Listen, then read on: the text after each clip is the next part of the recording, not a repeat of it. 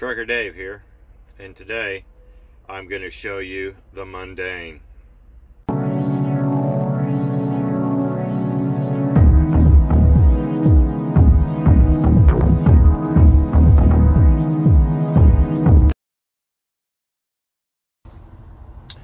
One of the things people ask all the time is, you know, what do you get to see? They, they think this job is exciting and I get to see all this fantastic stuff. Now, don't get me wrong, I see some fantastic sunrises and sunsets.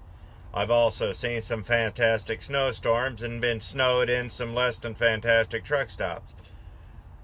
But all in all, the job is actually pretty mundane. But what about my off time? Well, even on my off time, a lot of times you gotta work. These trucks don't maintain themselves and truthfully, if we did it the way the government wanted, we would spend half of our time on duty just maintaining our trucks. There's a lot to do here.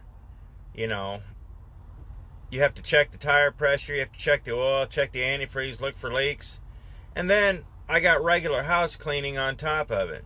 So, if anybody cares, I'm going to show you what a typical day off looks like for me. So let's embrace the mediocrity and let's get to it.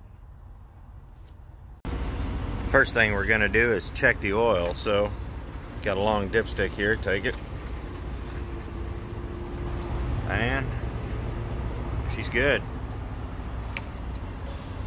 Cummins are kind of weird. They, uh, if you overfill them, they kind of just fit into where they want to be, they'll get to a certain level and kind of stay there. Check my fuel filters. Nothing's leaking. Now, that's still got quite a bit of fluid in it.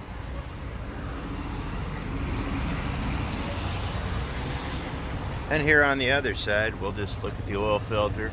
Doesn't appear anything's leaking around it. And everything else looks good. I'm not seeing any leaks around here, of course, the engine could use a wash. And the antifreeze level's good. Look at the belt. Belts are good. Oh, little squeak there. Which tells me I'm probably going to have to change the idler pulley here soon. But those should be changed about every half a mil. So, let's get on to the next thing. One thing you should check periodically is your air cleaner. I just changed mine, but I'll show you. I changed this last week so you can tell it's still good and this rubber gasket's eventually going to need to be replaced, but it's still good for now. It still seals. So we know that's good, so let's get on to the next thing. What we're going to do now is check the air. If you ever get a truck or become a driver, this right here is should be your very first purchase. These are irreplaceable. Apparently, I have one tire that needs my immediate attention. For some reason, it says I only have 30 pounds in it, which doesn't make any sense. So, let's go fix that. Due to the fact that this craptacular truck stop, like a lot of other ones that are maintained by this particular chain, doesn't have any working air but we got the airline that will hook up to the glad hand and we can do the tires with that. It's always important to use a tire pressure gauge because if you try to use the old thump method to where you just take your pipe or a bar and whack the tire, that, that doesn't tell you anything. It tells you whether the tire's flat or whether it's up. This tire was technically flat despite the fact it had 30 pounds still in it. If you hit it with a thump, I hit it with a thump, I couldn't tell the difference. So you need to be pretty vigilant with your tires and watch them. These tires are expensive. You know, it's oh, about if you're going to do them retail, it would be $6,500 for all 10. So take good care of your tires. Use a pressure gauge and check them often. So now we need to get the truck fired up and get the air built up so we can take care of this. So let's start the truck. maybe.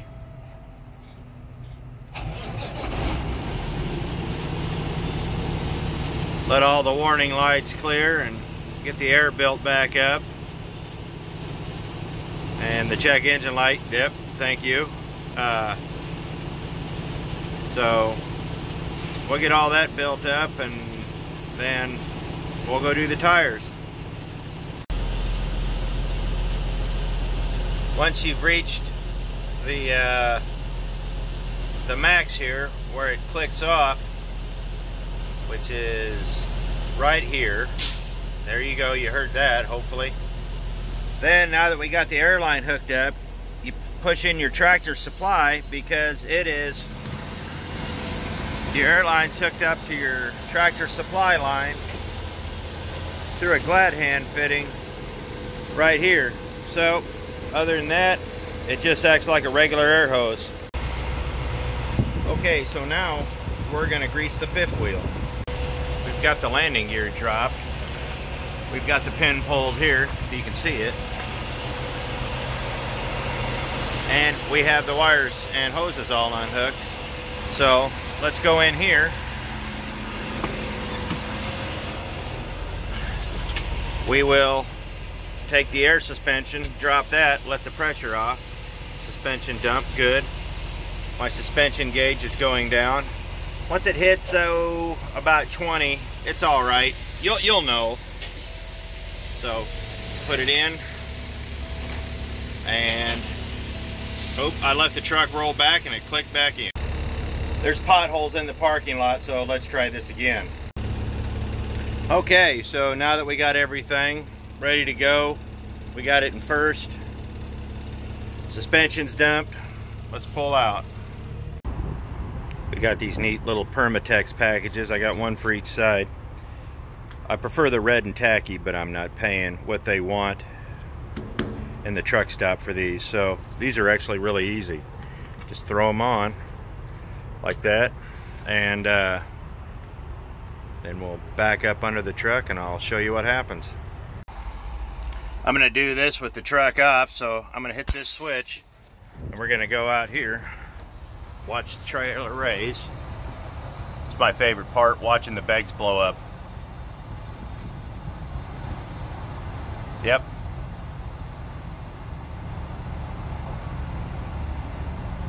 So it just compresses the bags pop and then it's greased. So now that we're done with the outside of the truck the real work begins because I still have to clean up the inside of the truck. This is where I spend the bulk of my time. I don't want to live in a pigsty. So, yeah, so here we go on that. I got to keep the floors clean, change the bedding, and just do some general tidy work. It's stripped. When asked why I would buy velvet red sheets, this is my answer. So if y'all are wondering, if you ever saw what they charge for these sheets, just any fitted sheet for a semi truck, you'll buy what's on sale. And I am that cheap because I'm not spending Boll and Branch price for something out here. Done. I've also swept the floors and shaken out the rugs. So, let's put this back together. Done! One of the best things you can buy for the inside of your truck or your vehicle is this Febreze.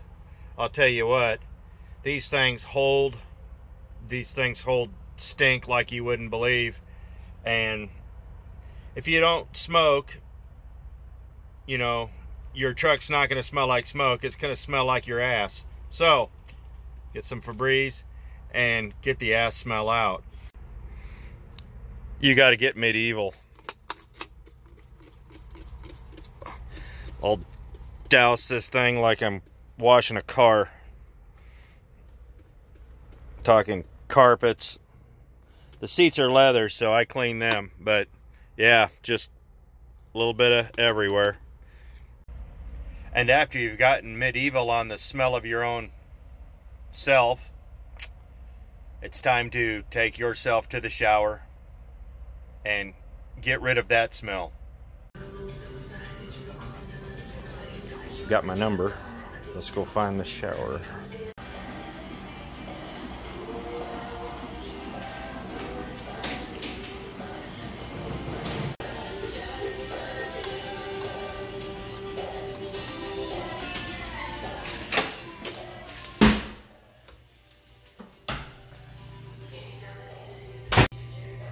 And this is where I leave you because even I don't need to see this. Done. So, in a nutshell, this is pretty much what truck drivers do on their day off. They pretty much do housekeeping like everyone else. I wish I had a more exciting life, and I'm working on it. Now, true, there are times when I do get to see some interesting stuff, and I do have some unique experiences but for the most part, it's pretty mundane.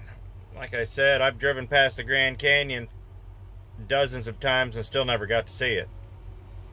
But when you get the chance, take it. You know, don't let opportunities pass you by just because you don't want to take the time. I've let a few pass me by in the past that I'll never get a chance to do again. Touring the Twin Towers was one of them. So, make the most of it if you get an opportunity, go for it. You may not get another shot. So I appreciate it. I hope you like, share, and subscribe. And I'm hoping to bring some more good car stuff here next video. I like the car stuff a whole lot better than the road stuff. so hopefully we'll get the Torino fired up and I'm looking for a trailer. So hopefully we can get that all done up here soon and I appreciate it. Thanks for watching.